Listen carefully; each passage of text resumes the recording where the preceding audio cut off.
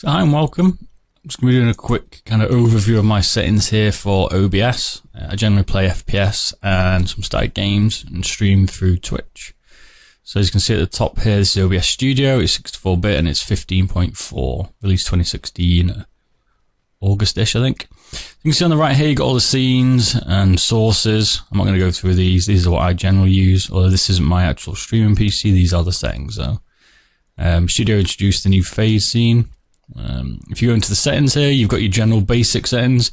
I don't change anything here. This is my default for the minute. Then we've got the streaming settings for Twitch. You can put in your key here. And we also get down from the service some other streaming services. I will be doing a video on multi-streaming, so keep your eyes out for that. And I'll show you how to do that as well. Quite easy. Showing different types. You've got custom here. You can use this for something like NGINX if you want to um, push out your RTM feed to it and use NGINX then to distribute it. And it depends how you're doing it, or you can just go direct to Twitch as it was shown first. My output settings here for streaming. So um, as you can see, I'm using um, CBR. I'm using standard X264, not NVENC. I'm streaming to um, 720p. As you can see, I do. I use constant bitrate. I've tried a few other ones. I use a two and a half meg bitrate stream a custom buffer of 5000 with key intervals of two. Um, I do do fast encoding. Um, I'm looking to put it to medium. Um, these profile settings, I generally um, leave it off high profile because um, I, things like iPhones can't generally decode it very well, apparently. So I haven't touched that, and I use uh, no X264 settings. So I'm recording option for local recording at the same time. I have multiple audio feeds, so I can break my audio up. Um, I record obviously direct to the PC here.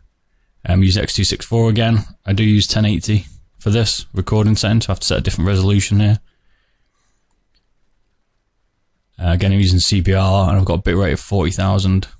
Uh, you can tweak around that depending on what your PC can handle. I use fast encoding with no intervals because very fast, sorry, very fast encoding. I don't use any profile or tuning because this goes direct into my video editor. Here's the different audio channels. This is where you'd set up your audio devices. Like I said, this is a different PC. I'm showing the settings on here, but I'd normally have different audio feeds in there. I can show you that, my multi-stream setup. Um, if you want to know, don't forget to like and subscribe and I'll show you that. Um, use 60 FPS. I use Lanczos as the downscale filter hotkeys. I'm not going to show you these, but you can set some up to start and stop your stream if you wanted to. I use F2 and F1. Um, and then the advanced options here. Um, I've left default bar, color format, color space, and color range fit to full and 709. Um, they're not that, the half, I think, as the default setting.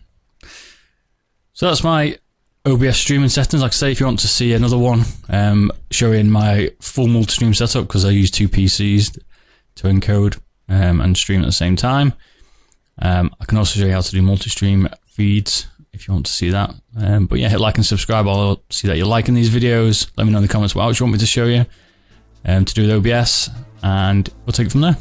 Thanks for watching. Don't forget to like and subscribe, and I'll see you soon. Cheers. Bye bye.